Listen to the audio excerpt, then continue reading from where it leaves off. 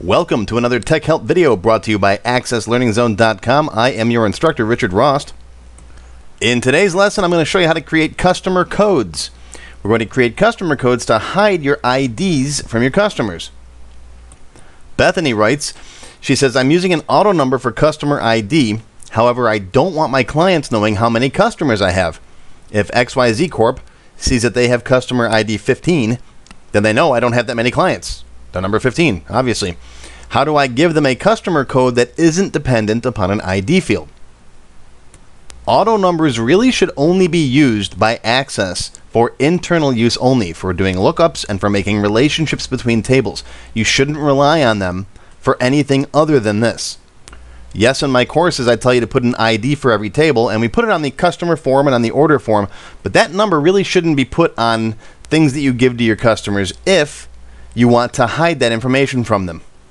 It's like if you have a guest check and you only have one book and you give a customer guest check number 14 and he comes back three days later and he's up to 17, he knows you've only had three orders since then.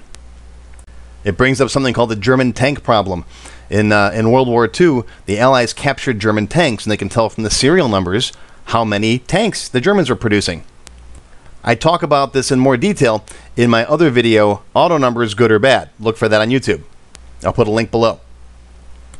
Anyways, certain information like customer IDs, order IDs, those kinds of things, you may want to hide from your customers.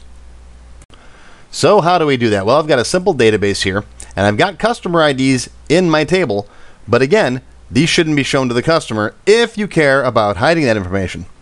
Some people don't, and honestly, to keep my classes simple, um, I teach my beginner students just to use this as a customer ID on the invoices. But when you get into more advanced stuff, and if you're if you're to the point where you're a developer building software for other people, then of course you want to know how to do this. Now the trick is to keep the ID because we're going to use that inside the database. The auto number is the best type of field to use for making relationships and for doing lookups between tables.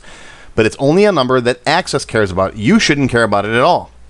Let me reiterate that. Auto numbers are meaningless to the user. You can show them to them if you really want to, but they can give away business information. Okay, so let's create a second field in here. We're going to keep the customer ID. Let's create a second field. We'll call it customer code. Let's go to our table, design view. I'm going to insert a row right here. We're going to call it customer code. All right, let's leave this as text. That way we can have letters and numbers in it.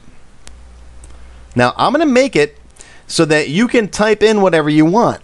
If you want to give them a custom customer code, that's fine. But let's set a default customer code so that when I create a new record, it's going to give them a value. All right, what's that default value going to be? Equals, let's put a C in there for customer. And I like to use date timestamps because if you put the date and time in there to the second, then chances are it's not going to come up with a duplicate. You'd have to literally add another customer at the exact same time. So what I like to do is I like to put a date time stamp in there followed by a random number from like 1 to 100. The chances of two customers being added at the exact second and getting the same exact random number are infinitesimal. So we're going to say format now, right now, and then whatever date time format you want to use. I'm going to go YYMMDD. That's year, month, day. Now, this all depends on how many customers you add. All right. If you're adding dozens of customers every day, then you might want to go HHNNSS. Okay. Hour N for minutes. Remember that. HHNNSS. Okay. If you only add one or two customers a day, maybe go to the minute. All right. Or if it's a customer every couple of days, just go to the day. That's all. All right. Now, does this give away business information? Yeah. But all it gives away to the customer is what day they became a customer. That's not really a big deal. Okay, so I'm going to go year, month, day, close parentheses, and then we're going to add on a random number. Put in int, and then RND times how big do you want your number to be? I'm going to go 100. That'll give you a number from 0 to 99. All right, you can add one if you want to go from 1 to 100. All right, enter. So the chances of you getting two customers with that same code with a, a random 100 a random digit after it, random two digits after it, uh, is very slim. If you need more precision, then add hours and minutes in here. Okay, now this is the default value. I'm gonna set um, I'm gonna set indexed to no duplicates. That way we can't have two customers in there with the same value. Now, required right now is set to no. We're going to change that to yes. But you can't change it to yes if you got people in the table already that have missing values. So let's save this and see how it works first. Save it, close it, open it back up again. Okay, now look down here. These guys we have to put records in for. But down here, right, C 20 08 06, that's today's date, 53. All right, let's put someone else in. Oh, look at that. There's 28, 77, 76. See? I mean, if you did a bunch of if you do a bunch of these a day, then yeah, you might get two duplicates. Okay? So put as much precision on that as you want. But that's a nice, quick, easy way to assign a fairly random, kind of kind of random customer ID. Okay? Now we're not going to use this for any relationships. We're just going to use that to show on reports. If you want to print out an invoice, you can show them their customer ID. What's my customer ID? C 2008, blah, blah, blah. that's your customer ID. It's nice and short, right? You can add seconds in there if you want to or whatever. Now you have to go back through and give these guys values. Um, you could do it with an update query if you want to. That's a whole separate video, though. I've got videos on update queries. I'll put a link below. You can run an update query and change these to the same formula you used below. For now, I'll just put random letters in here just to get through class. Oh, can't put D in there. D's already assigned. All right, those are random customer codes. These are the ones we care about down here. Now I can go in and set required to yes. And that's it. That's how you set up a uh, data integrity rules have changed. Okay, that just simply means that we've made it so that's required. So it's got to go through and analyze the table now.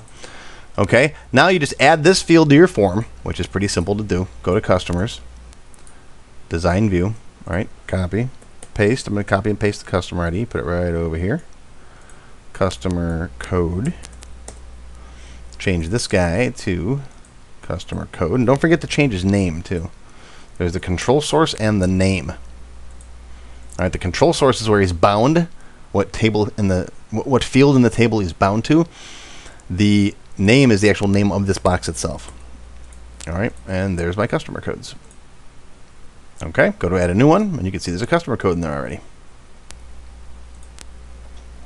If you want to make sure, see that one got a 5, and the one before it was 70. If you want to make sure that that's a uniform field size, you can go and say, take this number. I'm going to make this one more digit, so it's 0 to 999. And I'm going to say format, or excuse me, yeah, yeah, let's use format. Format, and then go comma 000. All right, put that in quotes too. Quotes like that. That'll format that number uh, so it always displays with three zeros. All right, so it'll go 005 if you get a low number. All right, let's see go back. One more time. Let's take a look. New record. Okay. Might take me a minute to get a low a low value here. Let's see. I'm getting all high numbers. Give me something down below 100. There we go. 015. this will make sure it's always the same length. All right, so all of your, your customer codes are the same length. And you'll want to reassign these. So Bethany, I hope that answers your question. Now remember, don't show your customers their customer ID. You can show them that new customer code. You can use that on all of your reports and anything that the customer might possibly see. Now, when it comes to sequential numbering, I have another video on how to do sequential numbering. These are good for things like invoice numbers. I have another video on YouTube. I'll look for the link below. And for members, I show you how to do sequential numbering per customer. So every time you get, every time a customer gets a new invoice, it'll go 001, 002, 003 for just that customer. And that's a members only video.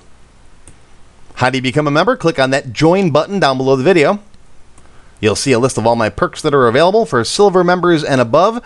You get access to the extended cut editions for my tech help videos. Now, I really didn't need to do a tech help extended video for this particular one because I showed you a lot of extra stuff in last night's video when I did the sequential numbering. Uh, we even did customer codes in that video too, a slightly different way. We based them on the first name and the last name. In last night's members only video, I showed how to make customer codes based on first name and last name. But thank you for watching this free video, and don't worry, I'm going to keep making these free tech help videos until I can't make them no more. I love making the videos and helping everybody for free. Make sure you subscribe to my channel so you get notifications whenever I release a new video. Click on the little bell there, ring the bell, and uh, pick all. You'll get an email notification for each class I release, for each video I put on YouTube. Also, stop by my forums on my website. I've got lots of stuff up there too. If you want to see your question answered in a video like this, visit my tech help page and send it to me there. Look for me on Facebook, Twitter, YouTube, of course. And if you haven't yet tried my free Access Level 1 class, it's free and it's three hours long, covers all the basics of Access. If you're still struggling, even if you've been using the Access for a little while, I, I know a lot of people who say, "Well, I've been, I've been, I've been tinkering with Access for a few years, and I finally took your class, and wow, I, you know, there's a lot of stuff I didn't know. There's a lot of fundamentals, a lot of, a lot of things I put in there from my 20 plus years of using Access that will help you if you're struggling, getting, trying to figure out how things work. And if you like level one, level two is just a dollar. Okay, that's it. Thanks for watching, and we'll see you next time.